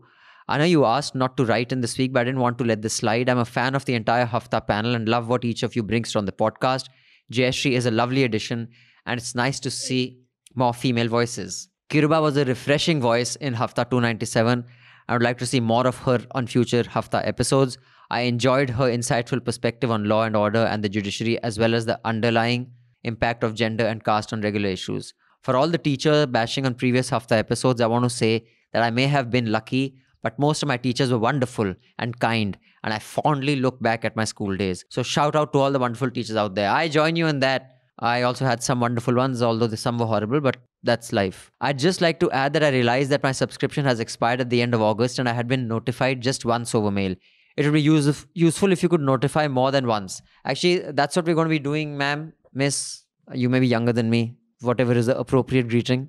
So, we will be doing that in the new uh, website. The prompt is going to be more frequent when someone's subscription is running out. Also, we will have more options on recurring subscription because some credit cards don't, our current payment gateway don't support some recurring subscriptions. That'll happen. Also, you go on to say, I just remembered Manisha's request to mention my background while writing in emails. So she says, I've studied engineering and management and now work on the technical side of things in a financial services company. Last, for the past month, I've had a hectic work schedule accompanied with studies, which does not leave me much time to follow news. I love listening to Hafta on weekends just to catch up. Thanks again. Stay safe. Thank you. Thank you for the wonderful mail and for your encouraging words. And can I just take one more mail before we move to Kashmir? This is from Mohit. Hi Abhinandan, big fan of the entire NL team and the work you all are doing. To respect the word limit, I will get to the point. I'd like to hear the panel's opinion on whether the likes of Republican Times now can ever be held accountable. By accountable, I mean accountable by the news media fraternity and not the law. This is a general problem in India's institutions, including the media. Sudhir Chaudhary won the Ramnath Goenka Award one year after he was arrested for extortion. Salman Khan is still celebrated as a star despite his driver running over people. A certain political leader holds a very important cabinet portfolio despite having spent time in prison for fake encounters. While in the West, we see Kevin Spacey completely ostracized by his own fraternity. Can we expect, or at least aspire to see Arnab Navik and RSS ostracized? Again, keep doing the great work you guys are doing. Please get Madhu back on the Hafta. Best Mohit. Okay, we'll have Madhu back on the Hafta soon. But on this, uh, does anyone want to weigh in on? I mean, we've discussed a long, we've had a long discussion on this in the past. By the way, Mohit, you might want to listen to that Hafta on exactly this. But yeah, go ahead. No, in case of Sudhir, see, I think we should not give so much weightage to he getting the Ramnath Goenka. You know why? Why he got this? Uh, this uh, Nirbhaya case had happened, and Nirbhaya's boyfriend, someone there is a there is a guest desk because I was in that organization. I was with DNA, so so so that person you know was instrumental in getting that boy, his uh, boyfriend to the to the studio, and this guy did the interview. So so the more important is bringing that guy to the uh, you know studio. Not so much uh, you know about the interview. And then then once he was in the studio, so he just opened up. He just narrated the he gave the narrative whatever happened to him so i don't think i mean i think it was more uh, it was an award more to uh, the entire team than uh, to Sudhir But th- this is a complicated matter. We've discussed it at length. Hmm. Um, but does anyone in the panel want to weigh in on this? What do you think? I mean, can you um, completely cancel a person's work? Like, I'm sure Kevin Spacey will get some more work. Where does one draw the line? I mean, there's always going to be a difficult conversation. Uh, Jayashree, um, Sudipto, Manisha, you want you have view on this? Um, no, I mean, I feel like we discussed it also a little bit when we were talking about the Bollywood petition. I mean, right now, I suppose it's progress that people have been waking up to the fact that their content is toxic in many ways. So, I mean, yeah, I, I, I don't know the details of why Chaudhary won the Ramnath Goenka Award, but from what Raman sir said, it, I mean, it sounds like he just got an interview with a very, a person who was very much in the news at that point of time. So, I mean, yeah, I don't know what his past body of work is like, but yeah, maybe he's done some great stories, maybe he hasn't. But I don't think there's ever going to be a point where India will cancel these journalists. I've never seen it happen before, at least not to this extent or in this context. But as a start, the fact that people are sort of calling them out online, that there are campaigns against them, that there are petitions being filed in courts against them, I think these are good steps. Yeah, and I think that within the media fraternity, I do hope, I do think there's at least I've started seeing now that television news journalists uh, if not on TV, at least on Twitter, they do, without naming maybe Navik or Arnab, they have been, especially after the SSR case, they have been kind of opening up and speaking about why the coverage has been bad. And I think it does shame people also. You know, when my people from my own fraternity call me out, it's, it's sort of different and you do feel a bit ashamed. So I do, I hope that uh, we have more and more people calling them out from within the fraternity and hopefully that will have some accountability but you know, even if you look at the Radia case, it's true that everyone who's named there and Veer Sanghvi who was, I mean, he was pretty much taking dictations, is now back to writing columns and all that. So he people do get rehabilitated. That's true. But in, um, I mean, Radia case was one case which had a lot of judges. But in Arnab and Navika's case, I do think, like in this particular case of, this is the case of where journalists are breaking all journalistic norms. So I do think there has to be more backlash from within the fraternity. Because ultimately it's going to ba- bite us back you know the kind of mistrust that people are going to start having for journalists it's going to start affecting us. Sudipto, you were saying? I just feel like journalism as we knew it is over and it is you guys who are going to now define what's going to happen from here on forward i think television news has I think it's run its cycle. Nobody is sitting in front of a TV waiting for the news to come on. So I think that's a dead industry. And the newspaper industry is a sunset industry. It's just unsustainable. So yeah, I just feel like yeah, these are all like apocalyptic times. Everything is dying, and I think that is hope for new things to be born. I don't know. I, I, I and you have to pardon this kind of slightly stoner kind of observations I'm giving because uh, you know. you know, partly because of course that's true, uh, but also because uh, i've not been I've been trying to you know between uh, federal, which was my last news job, and now I've been trying to look at processes as opposed to news, uh, you know, and that for me ties in very beautifully with this play I went to yesterday, uh, put together by this collective, art collective in Bangalore called Maraa, right? Where they, they the, the, entire thing was about how uh, they went and tried to document uh, the women's yatra that traveled to many states, uh, looking at uh, sexual violence against women. So this group from Maraa tried to do their interpretation on it, and it was just like cut, cut, cut, cut, cut, cut, cut, cut, cut, cut, and to stand outside that stream and just look at the top, top, top headlines makes you feel that yeah, this is not something that is sustainable. It does seem like people have just given up on it. So yeah, I now it remains to be seen as to what you guys do, the online crowd. We guys, hopefully you will yeah. also be part of what we will do in some form or the other, and we will make that happen, Sudipto. So now I just wanted the panel's views and uh, since uh, you know Raman sir is right next to me, so why don't you start? Just to give context, uh, Farooq Abdullah has always been a rather clumsy speaker. He, in interviews, has often said things that later either his son has been justifying or you know it always puts his foot in his mouth. The latest is he said something to the effect that you know with the help of China we will get Article 370 reinstated. And now China has said that it is illegal to take statehood away and they have commented on Ladakh. So uh, there's a second time, but they have specifically mentioned Article 370. It's illegal, yevo. And of course, Mehbooba Mufti was released and the Abdullahs went and met her. Does anyone want to predict what will happen in Kashmir? Maybe next week, actually, we should discuss in more detail because Mehraj will be here. Mm. But A, this is a, and again, I'm on the fence on this. Like I've discussed in the past that one stands up for values. And if that value is there's an overlap of what your country's government or your nation's general character at that time represents, then you back it. If it doesn't, you don't back it. Like, I don't think it would be patriotic for most Germans to say, yes, yes, Nazis are good and we are great, you know, because it was going against a basic value. I don't think it was uh, unpatriotic for the protesters who were protesting against the Korean War or the Vietnam War in America, which was this huge movement there, because they thought what they were doing to Vietnam and Korea was unfair, even though America was doing it.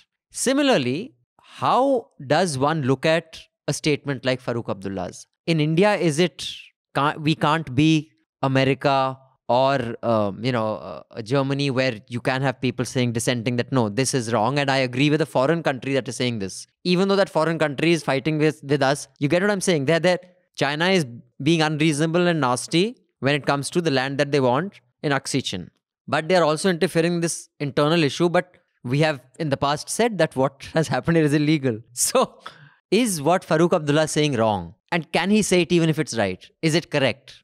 Guys, just just for context, the his party has denied having said that. But um, anyway, we will just try to get a little more clarity on that. But sir, carry on. See, I I personally feel that the politicians, whichever party they belong to, they have a one common interest. Okay, so here in this case also, when I saw the picture of this Mufti and these guys sitting together, how they can revive them in their own state as political parties. So that's the first thing. How can serve their own interest? So looking within, they have not. They are not. Uh, I. I mean, the the news that I get from that state, they are not so popular in their own state. People do not, uh, you know, uh, cheer them up as as their uh, popular leaders.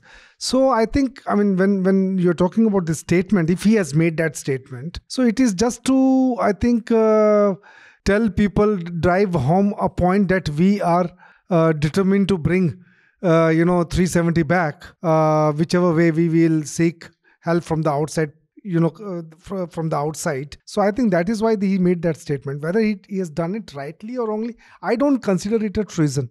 So i don't consider it so treason. i mean just i'll just in all fairness the hindustan times has quoted the national conference. It has said that he never said that article 370 and the constitution will be restored in kashmir valley with china's help but it also says Abdullah made these remarks during a television interview.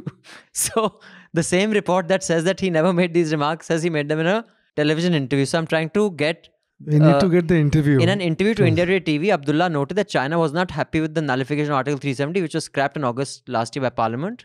As far as China is concerned, I didn't bring the Chinese president here. Our prime minister invited him to Gujarat and even did Jhula Savari with him. He even took him to Chennai and had food with him. They said till you restore Article 370, we won't stop because it has now become an open issue. May Allah wish that our people get help from their might and our Article 370 and 35 get restored. Okay, so okay, so he did not say exactly that with the help of China we will get it, but the sequence of things that he said, one could say that he was saying, "Dekho, China ko yahan leke aaye. It's an implied meaning. Implied meaning, ah. though it's not direct. So that is how ah. it is. Ah. Uh, so yes, the National Conference is right when he said that he didn't say that we will get Article 370 reinstated with the help of China. China. But in an interview, in a series of statements, it kind of can be said that he implied that. But no, yeah, no, that's no, up he, to I think these parties are saying that Pakistan is against it, China is against it. So so they're just mustering their, you know, help to uh, to endorse that we also want 370 back. Yes. Uh, anyone, uh, you want to comment on this, Jayashree? You have a view on what is sedition, huh. what is unpatriotic? Is patriotism even a value worth preserving in 2020? I think uh, patriotism is a very overrated concept. So um, last month, though, I think Karan Thapar had interviewed Farooq Abdullah, where at the time he said that the Kashmiri people don't feel Indian. They would rather be ruled by the Chinese. I think Karan Thapar asked him again, are you, sh- are you sure of this? Do you really mean it? And he said yes. So this was in the wire. Again, do I think that was an unpatriotic thing to say? No, I don't, because I also don't see why the people of Kashmir need to demonstrate patriotism to India. This is not something that I believe in. And um, with respect to the Chinese comments, I mean, I think we should also remember that Narendra Modi has barely even mentioned China's name when it comes to describing the Ladakh conflict, the face off, the standoff, however we describe it. I mean, he had a radio program on that Sunday where he talked about, oh, our poor soldiers, we must be brave and all, but he didn't actually mention China at all by name. He similarly had had another, I think there was some document that was removed from the Ministry of Defense's website where again it had mentioned Chinese transgressions, but that document was quickly taken down. So when India itself is being so spineless on that front, why should you expect politicians or other people to demonstrate the same thing that's my opinion you know when it comes to uh, you know so I, am just speaking from having a few very dear kashmiri friends and i'm sure when mehraj comes in next next week he's going to talk probably be able to talk, shed more light on this but uh, about the abdullahs and mufti and all of that you know this just recently a few of my kashmiri friends came back to bangalore just to breathe a little bit risking uh, covid they came just so that they could get out and experience Bangalore and all of that. And they were saying that, you know, uh, if it is an open air prison uh, and if Kashmir is jail, then these muftis and these guys are basically, you know, in the movies they show, no, these guys who are also prisoners who are very friendly with the jailer mm. and who get you cigarettes and who will get you hash and they'll get you contraband and they'll get you home food, you know, all of that. So that is one thing. The other thing, of course, this China thing, you know, uh, this this of course uh, is something that I uh, keep getting from from there, you know, from my friends and other sources as well, which is that uh, you know they, they they they they do they are looking for international representation for their thing, and uh, with a with a kind unstable country like uh, Pakistan, you know, whose voice at the international uh, stage is most often uh, you know, delegitimized with, you know, increasingly in many, many contexts. They, they are looking for a legitimate international power to represent them in some way, their interests and stuff like that. So I think that sentiment has, if, if today, if this, the, the Abdullahs are talking about it, it just re- reflects that it has come to the surface a little bit, that they also from time to time have to account for the aspirations. But it's not this, it's not a new concept it isn't uh, it's just, no not as far as i've experienced in, and my please do not go by you know i'm sure mehraj will come next week and trash mm, this uh, but i this is based only only merely on the limited sample that i have of friends and a few sources there mm. which is that uh, they do look i mean obviously pakistan is looked up to as a country that can represent kashmiri aspirations at the international stage because not even the congress or any indian party will go beyond the thing of okay we will discuss only afspa and no, nothing more. So, Dipto, I think you are right because these leaders have no credibility yeah, that in their is, own states. The, the, yeah, I mean, I discussed that in the interview with him, and I must he was very candid in saying that, yeah, I mean, that is true to an extent. Uh, but Manisha, you have anything on this? No, I think you guys covered most of the points on this. But you know, one thing that I think is similar is if you've read this book called Worshipping False Gods by Arun Shourie, which basically he has used all his time and he's extremely smart man, very well read, in wanting to basically trash B.R. Ambedkar as someone who was against India and its independence. Now he's taken yeah. a whole bunch of statements out of context. And if you have context, what Ambedkar was saying was not wrong. कि भाई क्यों ब्राह्मण को क्यों problem है क्योंकि आज you can kick them also and you can kick us also you guys leave they will kick us only so he's taken a few of his writing and speeches saying that he was a British toady, he was a stooge of the British, he was against Indian nationalism, he was anti-national. मतलब आप ऐसे तो what is the value? You have to preserve a value, not a bloody a government or a geography, right? Mm. I mean, so the I separatism just... as a sentiment need not always come outside the geographic boundary of a nation, nation right?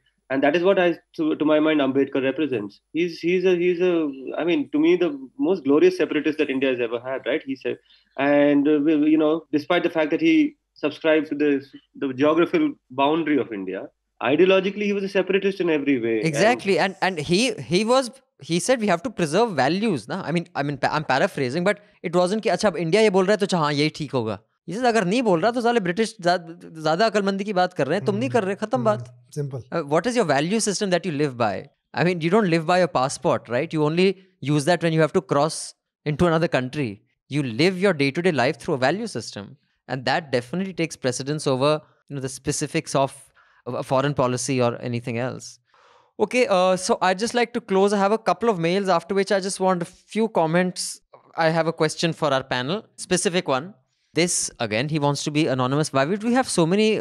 I mean, I understand our subscribers who want to be anonymous because some of them are, you know, 4G, some of them are government officers, but these days there are too many of want to be. I, I, I wonder if this is a sign of the times that people are just afraid to speak yes. their mind. Hi, NL team. Mandatory. I love what you are doing. Cannot thank you enough. I know this might seem misplaced rant, uh, but uh, do try and have a discussion the child adoption process in India. It breaks those people emotionally who our agencies claim to help. It denies good life to abandoned kids.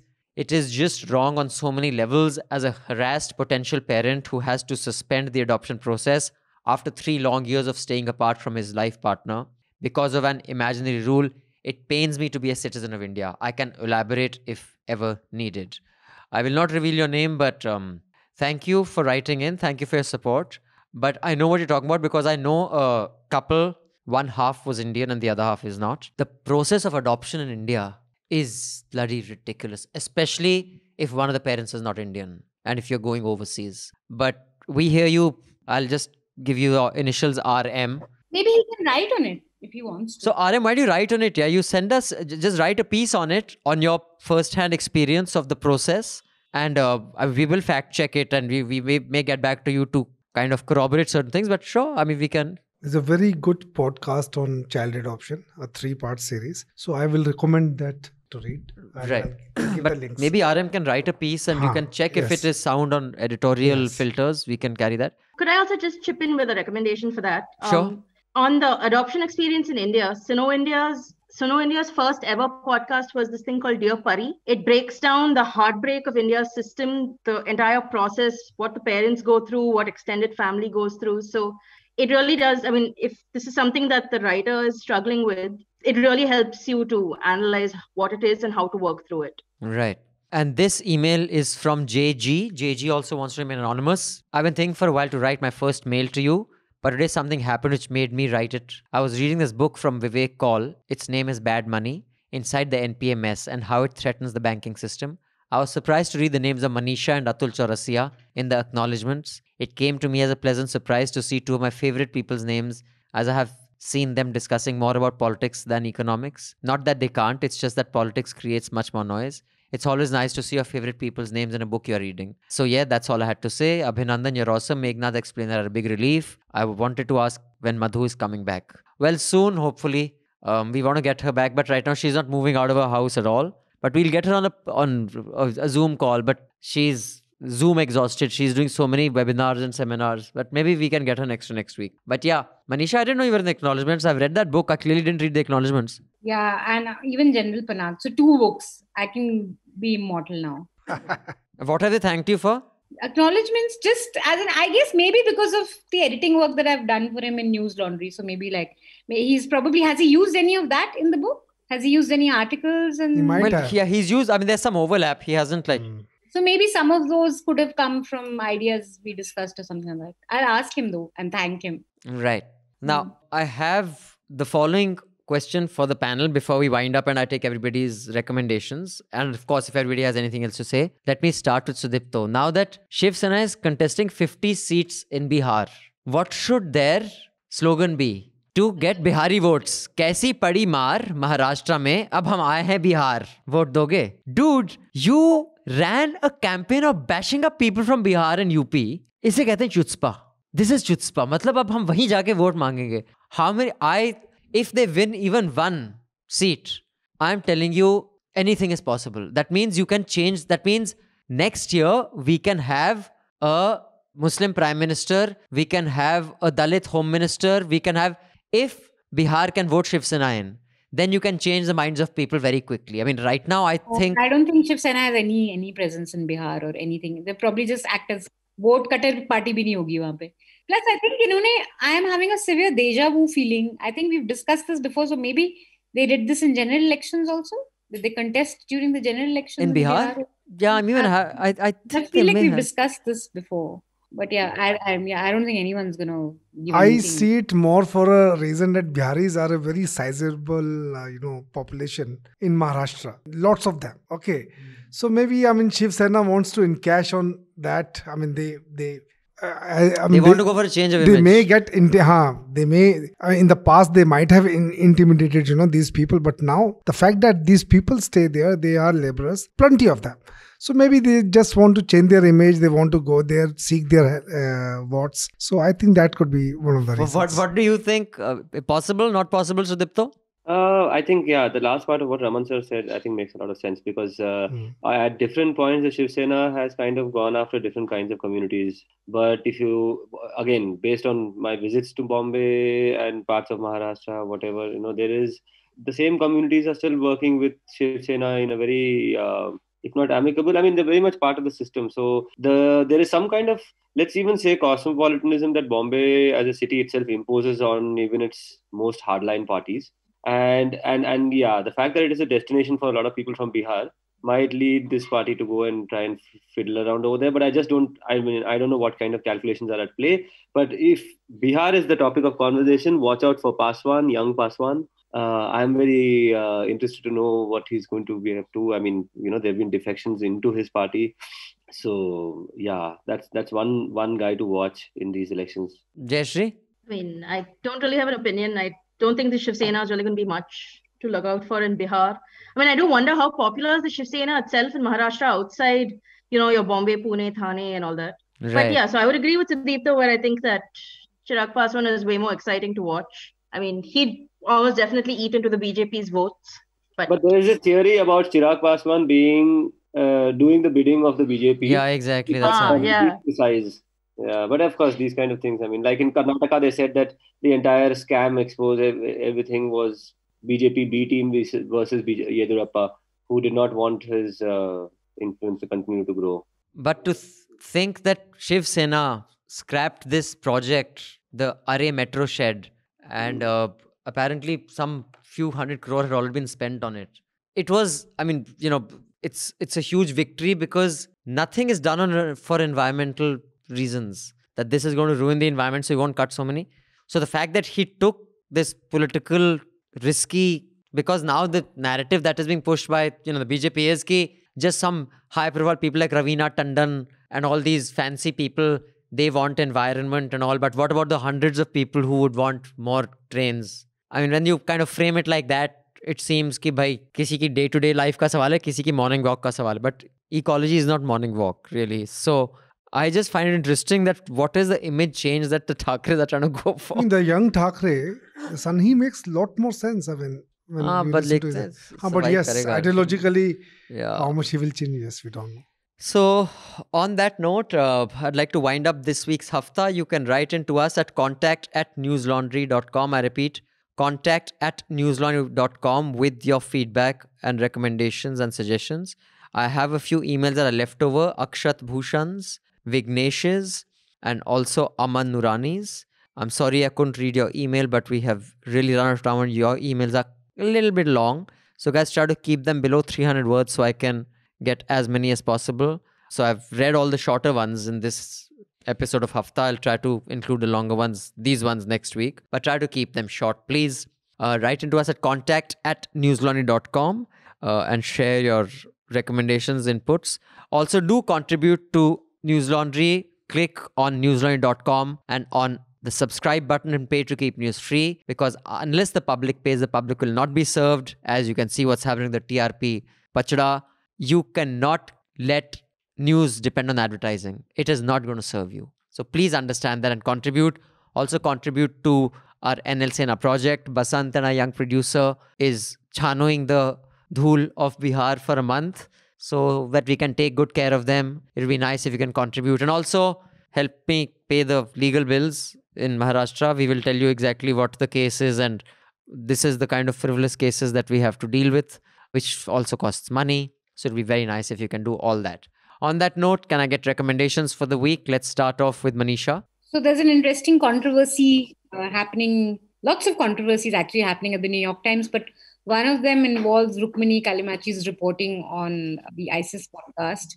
So um, Ben Smith's media column in the New York Times that forensically examines some of her reporting, and also uh, CJR's story on this Columbia Journalism Review. I think it's quite fascinating that a newspaper finds space to critique its own.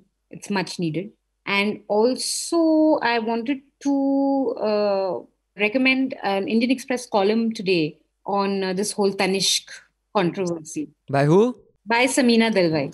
Okay, thank you, Manisha. Um, uh, Raman sir, your recommendation for the week? I had this Sameena Dalwai. She Uh, she She I stole mean, your we we know many such people, but she is a professor at Jindal Law School, uh, Global Law School, and uh, she is telling story of her mother who is a Hindu and a father who's a Muslim.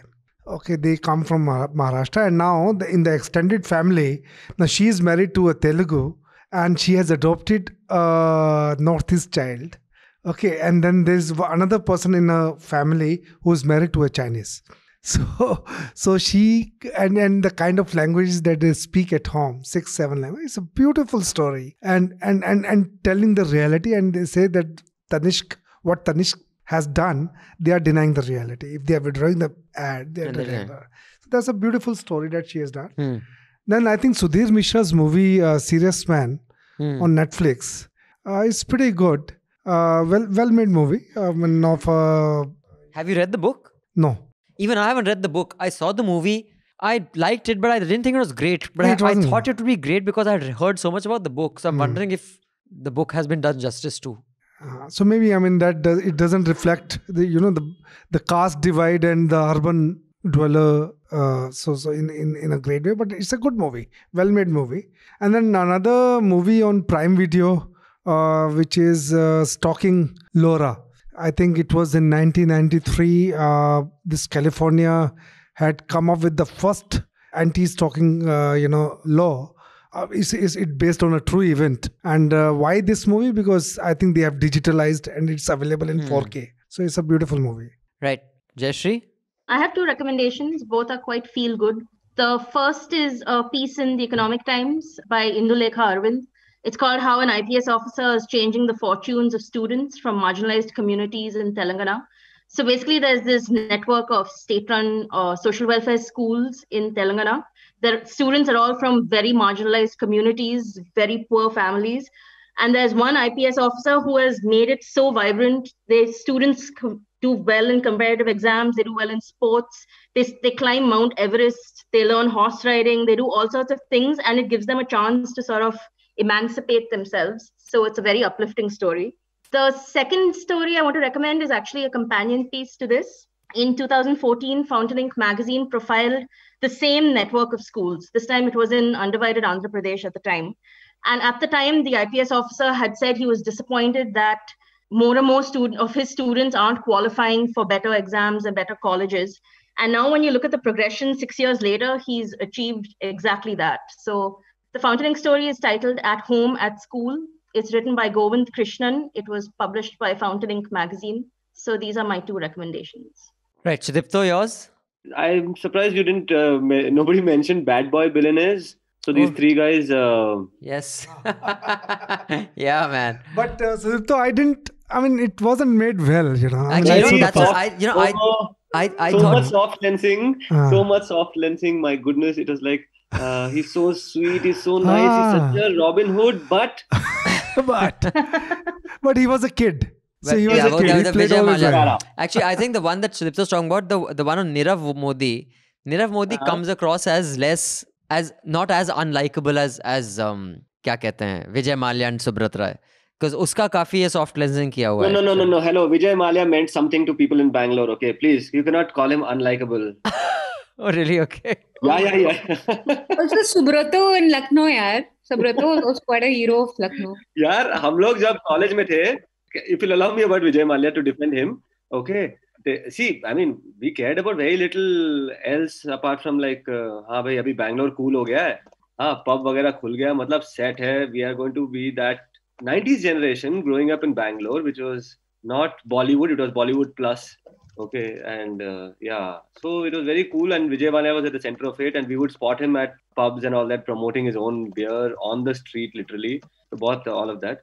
सो या Bangalore cool में विजय माल्या का बहुत बड़ा हाथ है। अच्छा चल but I quite enjoyed that series I will say I haven't seen it yet I just saw the first one Vijay Mallya Then, yeah, I think the other two, that is the least satisfying. And mm. I'll tell you hmm. why you didn't like it because you're a journalist. You know, because my ah. biggest criticism with that was they have done the same thing कि इसने fraud किया अबे समझाओ तो fraud क्या किया fraud क्या किया आपने सब उन्होंने समझाया ही नहीं कुछ भी नहीं समझाया कि भाई क्या किया उसने क्योंकि नीरव मोदी वाले में उन्होंने थोड़ा बहुत समझाया कि भाई पंजाब नेशनल बैंक की एक ब्रांच से लेटर ऑफ़ क्रेडिट इशू होता था और उसके अगेंस्ट कोई कोलेटरल नहीं होता था और वो 1.5 बिलियन डॉलर के लेटर ऑफ़ क्रेडिट वो इशू करता गया नहीं माय अनदर प्रॉब्लम वाज कि the same socialites who used to go to his parties and they are describing Vijay Mallya see the political angle is completely missing okay from the that's right yes. and that तो netflix you करेगा the political and who are the politicians who supported these jokers yes, yes. how were they getting वो तो है ही नहीं फिर reporters man Man, Vijay yes. Mallya's press conferences, any of these of these corporate press conferences in Bangalore, as I suppose, as I suppose anywhere else in India, hmm. the kind of gifts you get, the kind of junkets you get, these guys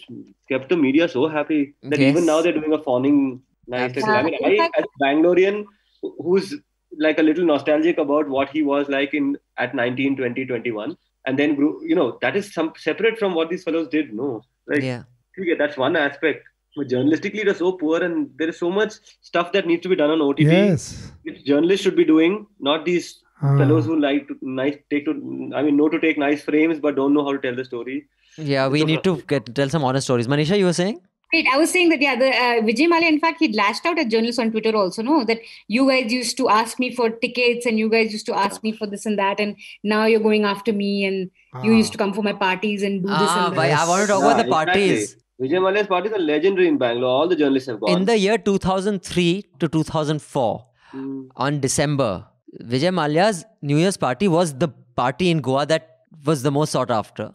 Yeah, I yeah. don't want to tell how, but I found myself at Vijay Mallya's New Year party. You? Yes. and, and because, and not just me, me and eight friends. तो हम पहुँच गए आठ बजे एक guest भी नहीं था सर हम आठ लोग के पहुँच गए so because you know I come. So there was eight of us and Vijay Malia. Now he was wondering what the who the fuck are these guys and why are they here? and then Shobha Day, Rajdeep Sardesai, everyone came. and I was like, and he would walk around in his house with bodyguards. I was like, why the fuck do you need bodyguards in your own house? But it was too funny because we did not belong there. We were not dressed for that. We were not, we did not have, the, not, not- we didn't have anything to belong there. So when we go out of the party, now outside is get there be a huge crowd. Hey, can you just tell Vijay I'm waiting? You know, can he get me in? We'd say, yeah, yeah, we'll just tell him. We'll just tell him. but you're right. Everybody would fucking go for his fucking party. it was such a. But um, sorry, I was saying on the Nirav Modi episode, there was one line which was very good for us. The वो ki, जो भी editor जो भी thi, वो she was saying that of course people used to wonder where he's getting his money from because he clearly wasn't selling as much but he was opening one store after the other and then she says but no one really cared because we were getting the ads. Ah. So every magazine was getting Nirav Modi bloody two page, full page ads. Right. So no one was taking critical look right. of how is this guy's industry. And I like देखो बेटा ads पे चलोगे तो ऐसे ही होगा नीरव मोदी निकल जाएगा तुम्हें पता भी नहीं चलेगा okay my recommendation is one of the most fascinating interviews I have seen in a long time. This is a hard talk. You know, Stephen Sackur does that hard talk. Uh, it's a daily on baby BBC. So he interviewed Rob Schenck. He was an evangelical Christian pastor, jo bhi. So this pastor was extremely powerful pastor for the Republicans, and he was a huge anti-abortion activist to the extent he was the guy who would you know buy all those fetuses from hospitals and go stand outside and shove them in the faces of young girls who wanted abortions. He was at the at the at the top of the leadership of that entire campaign against a few of these doctors who were doing abortions one of whom was shot and killed. Do you remember that case? In the US it made headlines when one abortion clinic guy was shot and killed. So this guy has had a change of heart and he was interviewed on hard talk and he spoke about why he did what he did when he was young and why he thinks it's time to change. And i just thought every so many bigots i know should really watch this because they are exactly what he's talking about. You know how the you get seduced by power. You have you know people you know that the top republicans want to talk to you. They will do what you say. You can get them votes. You can be their spokespersons. And so many regular people who have completely lost their marbles purely because of stuff like this and of course how bigotry then makes you feel all emboldened so i think it's a fantastic interview and watch it for a variety of reasons it, it's great insights on that note thank you sudipto manisha raman sir and Thank you. Appreciate your time. Thank you all for listening. Do join us again for next week on Hafta. I'm not sure whether the next week Hafta will be on the new website. The new website may actually go up this weekend, but we're just making sure we can fix every glitch on the podcast player at least before we go live because many of you caught some glitches that had missed us. So we want to make sure that when we go live, at least that bit is fixed and then we'll keep fixing the website. Until next time, thank you and have a good weekend. All the News Laundry podcasts are available on Stitcher, iTunes, and any other podcast platform. Please subscribe to News Laundry. Help us keep news independent. To catch all our podcasts on news, pop culture, current affairs, and sport, visit newslaundry.com. Follow us on Facebook, Twitter, and Instagram, and subscribe to our YouTube channel.